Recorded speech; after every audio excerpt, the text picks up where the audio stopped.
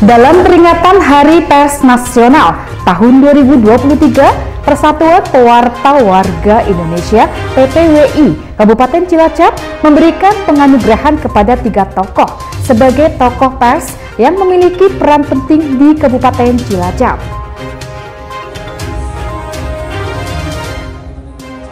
Gelaran malam penganugerahan kepada tiga tokoh di Kabupaten Cilacap pada peringatan Hari Pers Nasional tahun 2023. Persatuan Pewarta Warga Indonesia PPWI Kabupaten Cilacap berlangsung di Kedai Cafe Helsinki Jumat 10 Februari 2023 malam. Acara tersebut dihadiri Sekretaris Daerah Kabupaten Cilacap, Awaludin Muri, Kepala Kementerian Agama Kabupaten Cilacap, Imam Troboni, Camat, LSM, wartawan, tokoh masyarakat, dan tamu undangan lainnya.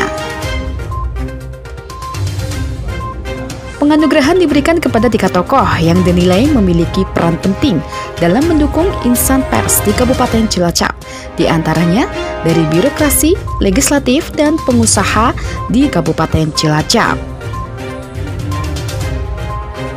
Ketua PPWI Kabupaten Cilacap, Sani Arianto mengatakan, kita menganugerahkan tiga tokoh di antaranya, Awaludin Muri selaku Sekretaris Daerah Kabupaten Cilacap, Taufik Nur Hidayat selaku Ketua DPRD, dan Rio Aditya sebagai pengusaha muda di Cilacap.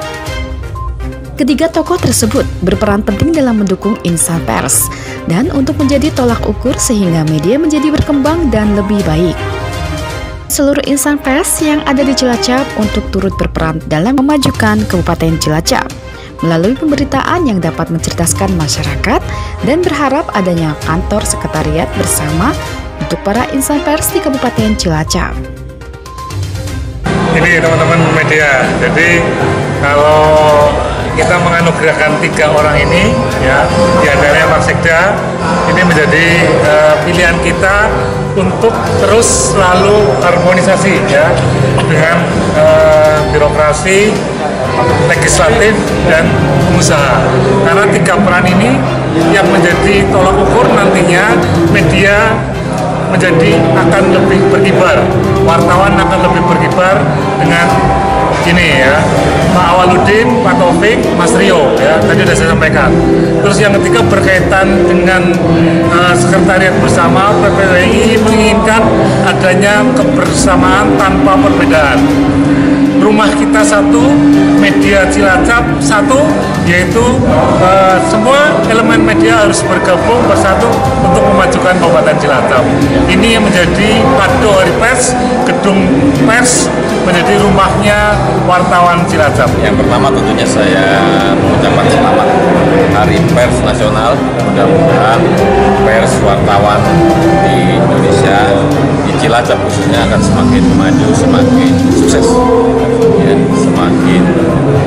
bebas sehingga demokrasi bermartabat sesuai dengan temanya akan membawa Cilacap semakin percaya.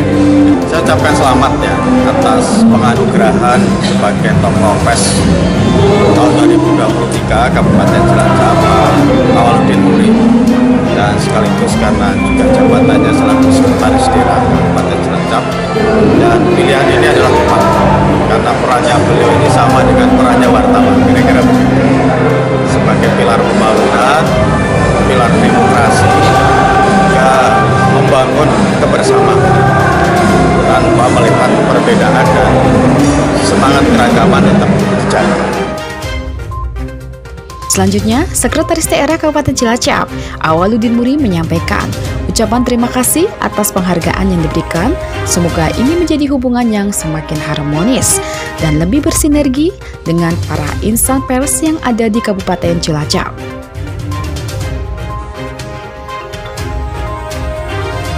Pada acara tersebut, Sekretaris Daerah Kabupaten Cilacap, Awaludin Muri, menerima piagam penghargaan sebagai tokoh pers oleh Ketua PPWI Kabupaten Cilacap, Sani Arianto dengan disaksikan seluruh tamu undangan. Dari Kabupaten Cilacap, Sartono PNV Channel memberitakan.